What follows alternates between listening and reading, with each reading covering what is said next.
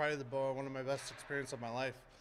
Um, you know, it was pretty incredible, especially doing uh, in Vancouver on home soil. Um, I think they, I think they had us ranked like fifth in the tournament. They didn't even think we were going to medal, um, just because we went with such a different team. And uh, you know, we were able to pull through and uh, found a way to get the gold medal. It was awesome. Uh, you know, the whole tournament's a real fun, fun thing to be a part of. I've been there two years, um, and especially last year to cap it off with a gold medal in a game against Canada at the end. It's pretty fun.